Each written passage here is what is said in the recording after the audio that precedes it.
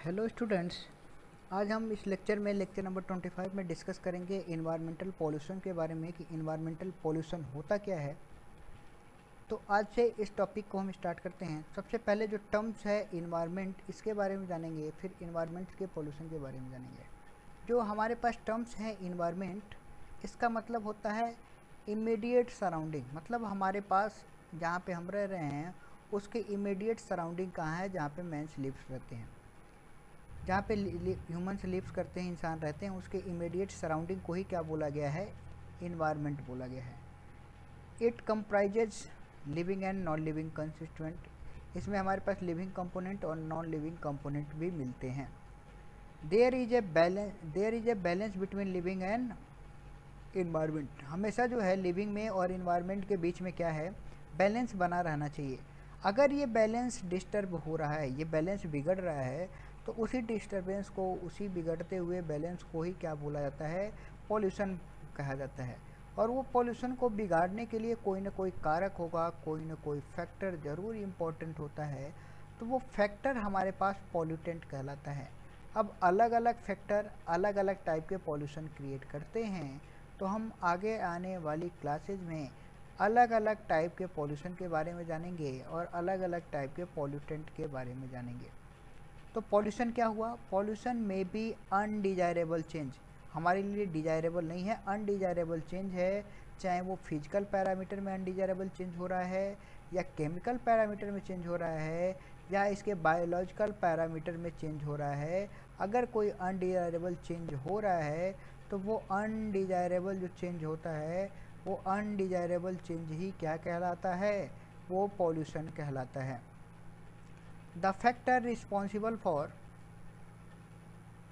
the factor responsible for the environment pollution तो बहुत सारे ऐसे की फैक्टर्स होते हैं जिसकी वजह से हमारे पास क्या होता है? इन्वायरमेंटल पोल्यूशन होता है।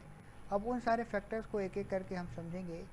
जैसे अगर हम बात करें कौन कौन से टाइप के पोल्यूशन होते हैं तो एयर पोल्यूशन हमें देखने को मिलता है। मेजरली पोल्यूशन की मैं बात कर रहा हूँ।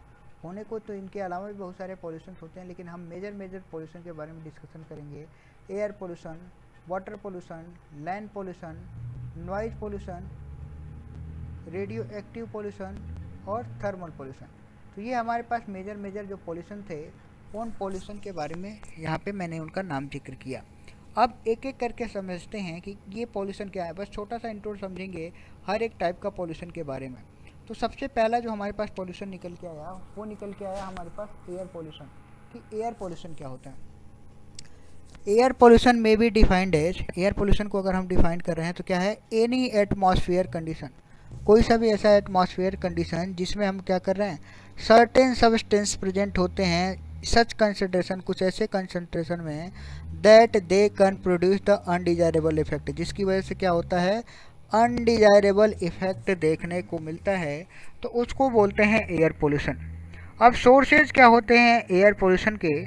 तो एयर पोल्यूशन को पोल्यूट होने के लिए डिफरेंट डिफरेंट सोर्सेज हो सकते हैं. कौन कौन से सोर्सेज हैं? उनको बेसिकली दो पार्ट में डिवाइड किया गया है. पहला जो सोर्स है उसको बोलते हैं नेचुरल सोर्स और दूसरा जो सोर्स है उसको बोलते हैं man made source man made तो याद रहता है, लेकिन जो इसका दूसरा नाम है एंथ्रोपोजेनिक सोर्सेज तो बहुत सारे बच्चों को एंथ्रोपोजेनिक वर्ड याद नहीं रहता। तो एंथ्रोपोजेनिक जो है वो मैन मेड का ही एक सिनोनिम्स है। तो एंथ्रोपोजेनिक कॉजेज भी हो सकते हैं। नेचुरल कॉजेज कैसे हो सकते हैं? लाइक लार्ज स्केल पे एयर पोल्यूशन जो हो रहा है वो किसके वजह से हो रहा है? नेचुरल के बेसिस पे। और नेचुरल बेसिस पे कैसे होगा? जैसे कहीं पे वॉल्केनिक इरप्शन होगा, ज्वालामुखी फट गया तो वहाँ से बहुत सारी विषैली गैसेज जनरेट होती हैं। कहीं सी जंगल में आग लग गई तो जो फॉरेस्ट फायर है, ये नेचुरल कॉज है, ये इंसान नहीं जाके आग लगाएगा। कभी कभी जंगल में प्राकृतिक कारणों से आग लगती है तो उस आग के चलते भी बहुत सारे एरिया में क्या होगा? उस गैसेज जनरेट होंगी, उसकी वजह से। मैन मेड कॉजेज तो आपको पता ही है कि डे बाई डे हमारे पास रेपिड इंडस्ट्रियलाइजेशन हो रहा है। अर्बनाइजेशन हो रहा है जिसकी वजह से ये देखने को मिलता है। अब पॉल्यूटेंट कारक किस किस फ़ेज़ में हमें देखने को मिल सकते हैं? तो गैसियस रूप में हमें देखने को मिल सकते हैं, जो गैसियस के रूप में रहते हैं और पर्टिकुलर पॉल्यूटेंट के रूप में रहते हैं। गैसियस के रूप में मतलब गैस के रूप में रहेंगे, नॉर्मल टेम्परेचर पे।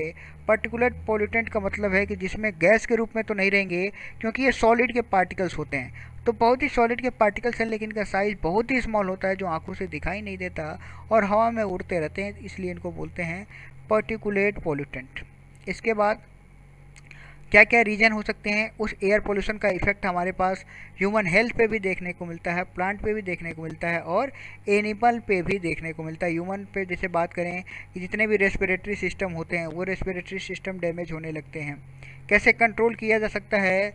तो हम एयर पोल्यूशन को कंट्रोल करने के लिए क्या कर सकते हैं? नॉन कन्वेंशनल एनर्जी के सोर्सेज यूज़ करें एंटी पोल्यूशन मेजर्स यूज़ करें इसके अलावा नाइट्रोजन के कम्बसन हो रहे हैं, उन कम्बसन पे सल्फ़र का यूज़ करना कम कर दें। कोल का यूज़ करना कम कर दें, क्योंकि कोल से ही सबसे ज़्यादा कार्बन डाइऑक्साइड जनरेट होती है।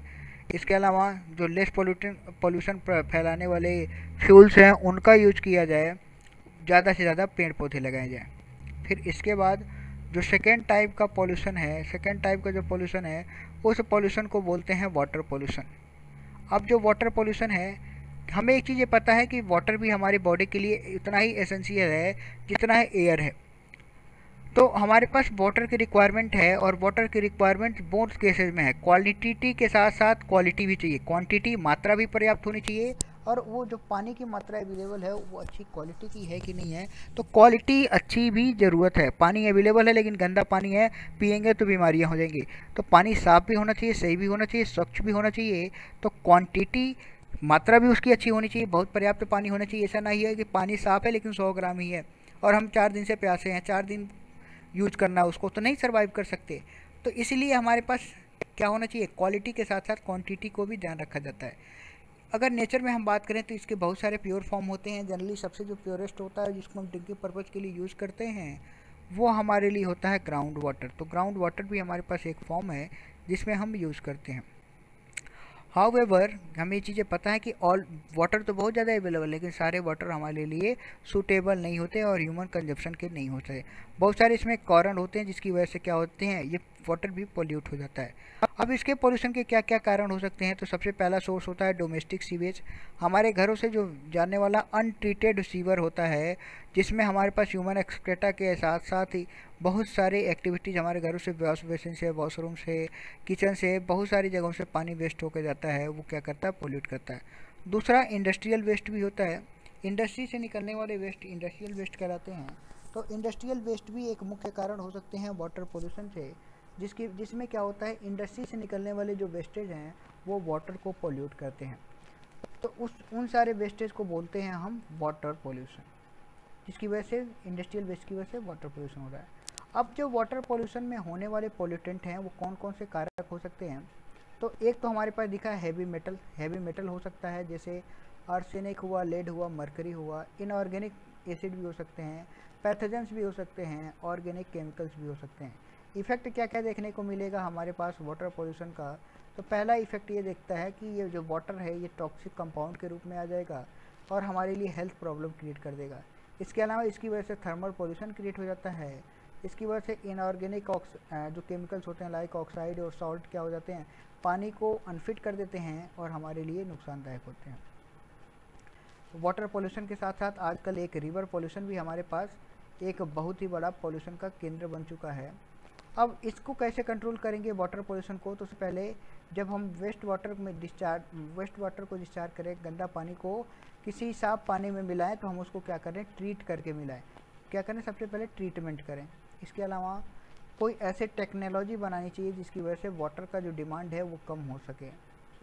इसके अलावा हर किसी पर्सन के लिए क्या किया जाए? हर किसी पर्सन के लिए, हर एक इंडस्ट्रीज़ के लिए एक कोटा फिक्स कर दिया जाए कि आपको इतना ही पानी मिलेगा, इससे ज़्यादा पानी नहीं मिलेगा। इन सब के अलावा हर के लिए, हर किसी के लिए क्या किया जाए? रेन वाटर हार्वेस्टिंग कंपलसरी कर दिया जाए।